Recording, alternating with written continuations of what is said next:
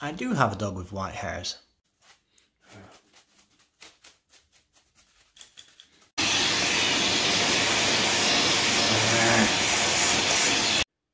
You've got your new RC500. Fantastic. Now, I've made lots of different templates for myself.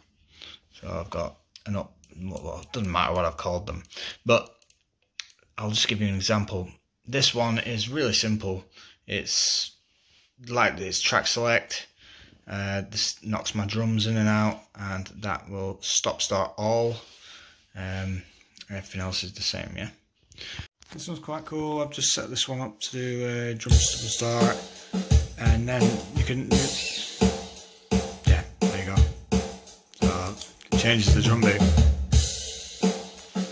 Cool. Before you start, in order to customize each one of your memories, you need to go into menu. Uh, we can't really see that. There we go. You need to go into preference. Let's try and get that into focus. Then it says memory or system. If you press system, it's going to be the same on every single track. So in, on pedal 2, I've got this as system because I quite like what it does. I need it for pretty much every single track, so I've kept it on.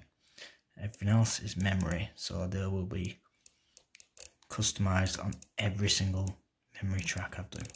Next thing you need to do, the noise suppression. Okay, you can do it for the mic and the instrument. I don't seem to need it. I mean, I've, I've never had this setting on any other loop pedals before. I've put it down to 10. I think that's good.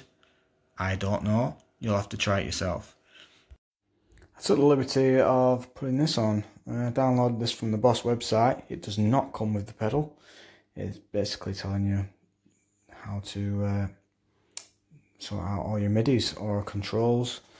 So you can do things like effects, drum beats, um, all sorts of stuff on there. There's so much.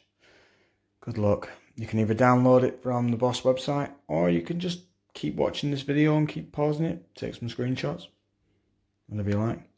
I'm going to do some looping now. Hope you enjoy. Thank you for watching.